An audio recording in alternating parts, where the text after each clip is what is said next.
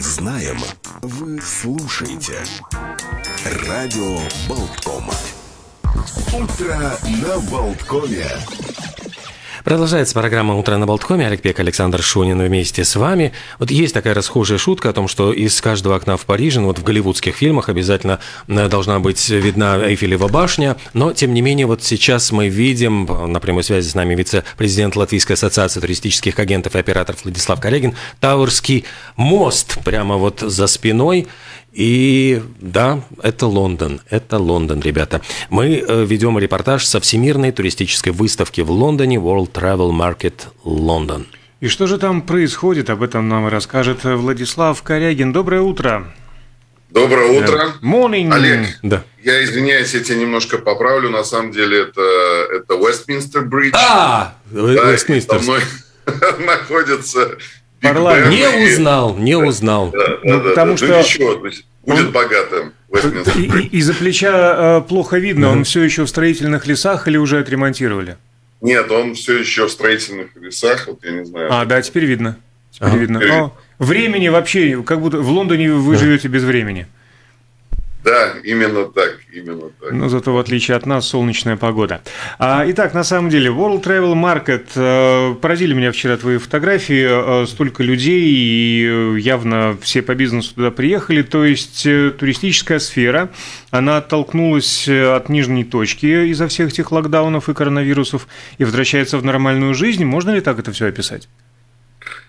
В принципе, да. Если вот мы вспоминаем события трагического для индустрии 2020 года, да, то э, начало локдауна и начало, скажем, такого краха э, туризма ознаменова- оз- оз- э, знаменовало э, закрытие выставки в Берлине. То есть уже вся туристическая индустрия мира собиралась в Берлин. Даже я э, свой чемодан уже начал упаковывать и собирался в аэропорт, когда в последний момент сообщили, что выставка отменяется из-за эпидемиологической ситуации. И это было своим э, э, так сказать, родом такое ознаменование, что все будет плохо.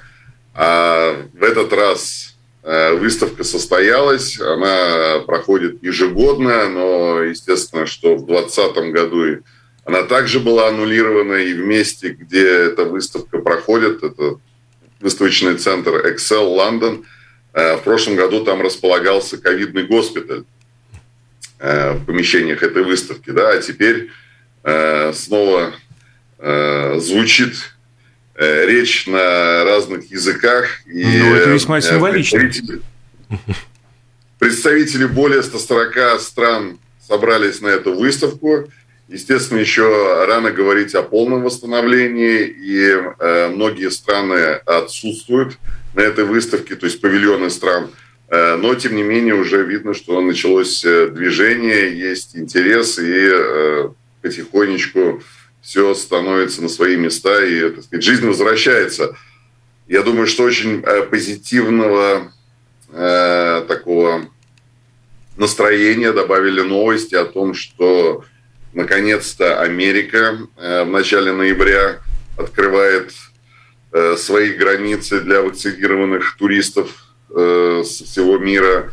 И Австралия, которая была, наверное, в таком самом жестком локдауне, и там Мгм. полтора года в Австралию вообще невозможно было прилететь, там, если только не какие-то правительственные делегации. Э, Значит, они тоже с ноября открывают свои границы. Пока еще трудно э, будет иностранцам приехать э, в Австралию, но, во всяком случае, австралийцы э, теперь могут э, спокойно путешествовать по всему миру, и это, конечно, такие колоссальные, э, колоссальные новости, тем более, что традиционно на этой э, выставке собираются представители, скажем, англосаксонского мира, много представителей из Австралии, из Америки, из э, Великобритании, само собой, да, и это все свидетельствует о том, что настроение улучшается и э, виден свет в конце тоннеля.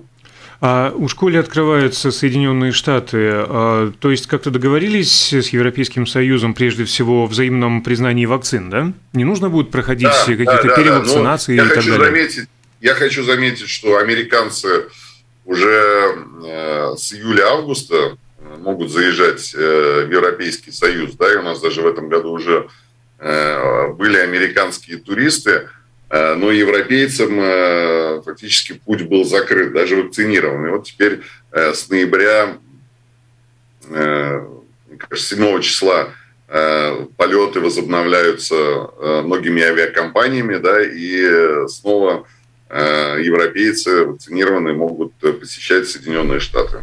Естественно, это относится только к вакцинированным. Вот я как раз хотел спросить э, насчет невакцинированных, насколько их передвижение ограничено и насколько э, здесь какие-то есть вари- варианты? Ну, пока что, я думаю, без вакцины путь заказан. Угу. А, э, азиатский... В целом, в целом я хочу сказать, в целом я хочу сказать, что э, в Лондоне э, глобально уже не чувствуется никаких ограничений. Естественно, э, э, на такие публичные мероприятия, каким является выставка, э, вход только по зеленому сертификату. Но если говорить о барах, ресторанах, пабах, то нигде не спрашивают какой-то сертификат. И, в принципе, жизнь бьет ключом. И, в принципе, уже о ковиде говорят о прошедшем времени, да, и это очень такой позитивный шаг, и, конечно, все очень удивляются о том, когда рассказываю, что в Латвии у нас комендантский час и работают только продуктовые магазины. Для всех это очень большое э, удивление и даже такой шок. Ну, а чему удивляться? Достаточно посмотреть на цифры вакцинации.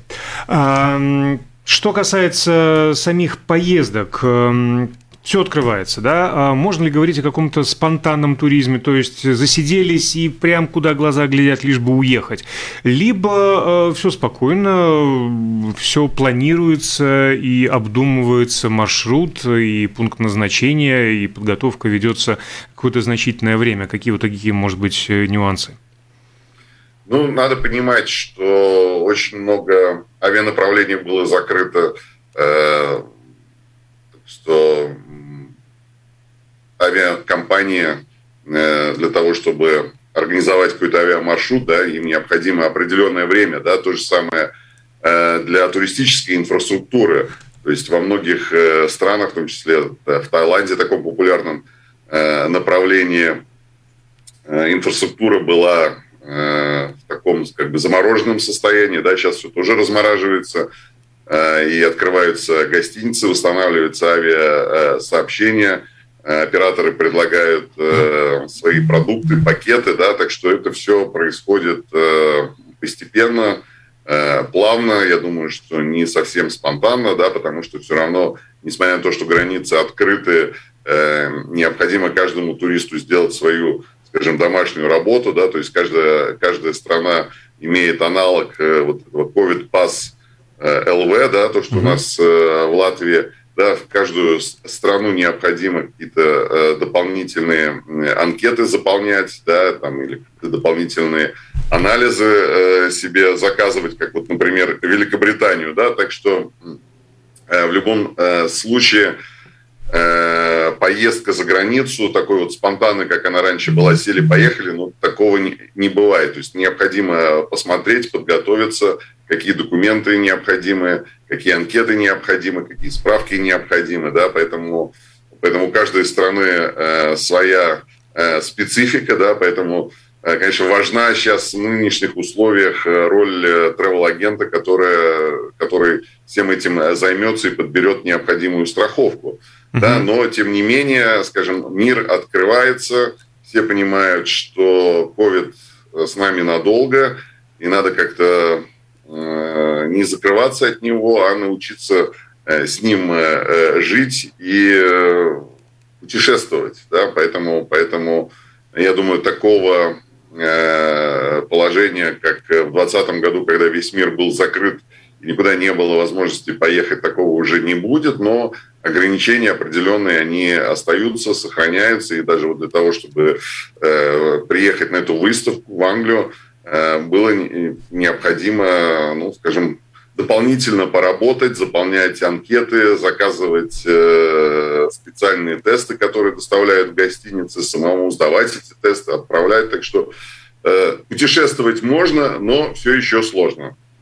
А с нами вице-президент Латвийской ассоциации туристических агентов и операторов Владислав Корягин. А мы говорим о туристической выставке, которая сейчас происходит в Лондоне, World Travel Market London. Влад, а учитывая масштаб вот этого международного этого форума, а можно ли сделать какие-то выводы насчет того, насколько мы, Латвия, я имею в виду, как территория, как страна, как э, пункт назначения, опустились в плане бизнес-туризма, того же самого медицинского туризма, выставочного туризма? Есть ли шанс нам восстановить и развивать как прежде, как в доковидные времена, эти направления, или наши соседи по Прибалтике безвозвратно нас э, опередили в этом плане? Ну, надо сказать, э, что я э, нахожусь на этой выставке на стенде Литвы. У Латвии вообще нету стенда. Вот, поэтому, так как у нас э, имеется офис в Вильнюсе, у нас зарегистрирована компания в Литве, у меня есть возможность работать на стенде Литвы, а Латвии на этой выставке фактически не слышно и не видно. Это, если говорить таких из плохих новостей. Из хороших новостей, я думаю, что с учетом нашего географического положения, э, я думаю, что все равно туризм восстановится, как только будет возможность действительно работать и принимать гостей, потому что, ну, на сегодняшний день, несмотря на то, что э, граница открыта, и в Латвию иностранцы э, могут приезжать, но по большому счету делать им сейчас нечего, потому что экскурсии групповые запрещены, походы в музеи запрещены, э, рестораны запрещены. То есть единственное, что на сегодняшний день э, могут, э, чем могут заниматься в Латвии туристы, это поодиночке ходить по городу, но к восьми они должны быть в гостинице. Если они хотят покушать, значит, единственный способ поесть – это заказать еду в номер. Ну, будем надеяться, что да, ну... 15 э, ноября ситуация изменится. Очень, очень, очень надеемся и желаем, конечно же... В таких условиях, в которых мы сейчас находимся, о каком-либо э, туризме э, даже и мечтать не приходится. Да? Единственное, кто в Латвию приезжает, это наверное, какие-то люди, которым действительно надо по бизнесу, по работе, и они это не могут сделать удаленно. Да? Но это точно не туристы. Да, у меня вот вопрос был э, связан с тем, что насколько эпоха вот этого э, дикарей, вот когда люди действительно ездили э, сами, организовывая себе путешествия, экскурсии, она ушла в прошлое, вот уже безвозвратно ли или есть возможность, что она восстановится? Нет, я думаю, что она никуда не ушла, она, она э, восстановится, и она, и она, я думаю, что и не пропала, да, то есть очень много э, э, сервисов, да, онлайн-сервисов, которые вот как раз и обслуживают таких, как мы говорим, дикарей, да, это различные онлайн-площадки, онлайн-платформы, где клиент может самостоятельно заказать себе поездку, да, но при этом надо иметь в виду, что если, значит, как вы сказали, дикарь самостоятельно турист э, заказывает э, поездку где-то в интернете на иностранном ресурсе, да, фактически у иностранного поставщика туристических услуг, да, то в случае, если что-то пойдет э, не так, ему будет очень трудно вернуть себе какие-то деньги или получить даже какую-то какую-то какую-то помощь или поддержку, да, потому что если турист обращается в агентство Латвии, то в случае какой-то конфликтной ситуации есть такая организация, как э, э, Центр по защите прав потребителей, mm-hmm. да, который, как правило, решает вопросы в пользу, в пользу клиента. Да? Но если клиент заказывает эти услуги где-то на иностранных ресурсах, то фактически вряд ли Э, кто-то сможет ему э, помочь, если возникнет какая-то спорная ситуация. И действительно, мы в Латвийской ассоциации турагентств столкнулись с тем, что вот во время, э, во время начала пандемии было очень много отмен рейсов, очень много невозвратов. Туристы обращались к нам в Алту с с просьбой помочь, вернуть деньги, но мы только разводили руками, потому что если клиент что-то заказывает за границей, то здесь уже латвийская фемида бессильна. Угу. Такой урок действительно, всем, кто на свой страх и риск отправляется путешествовать. Ну и надо помнить, конечно, про уже упомянутые страховки путешествий. Mm-hmm. Тоже мы об этом не перестаем а, напоминать на всякий случай. Хорошо, желаем удачной работы, пусть не на латвийском стенде. Удачи, развития, новых контактов, всего доброго. Хорошей погоды, хотя я так смотрю, погода и так хорошая. Да, прекрасно. Ну и пускай Биг уже отремонтируют там. Солнце, да, ну, э, все, в общем, замечательно. Да. Спасибо вот. большое, Влад. Хорошего Спасибо. дня. А вице-президент Латвийской ассоциации туристических агентов и операторов Владислав Корягин, который сейчас находится в Лондоне и участвует а в выставке World Travel Market London, рассказал о том, что происходит э, во всемирных масштабах с туризмом, о том, как все потихонечку просыпается и восстанавливается. Мы, а, к сожалению, пока среди отстающих, но наверстаем ничего, все будет хорошо. А может быть не так, как прежде, но зато в каком-то смысле по-новому тоже все будет нормально. На этом завершаем утро на Болткоме, а продолжится наша программа. Продолжится подоплека. подоплека. Гость очень важный, представитель а, Банка Латвии. Радио Болткома.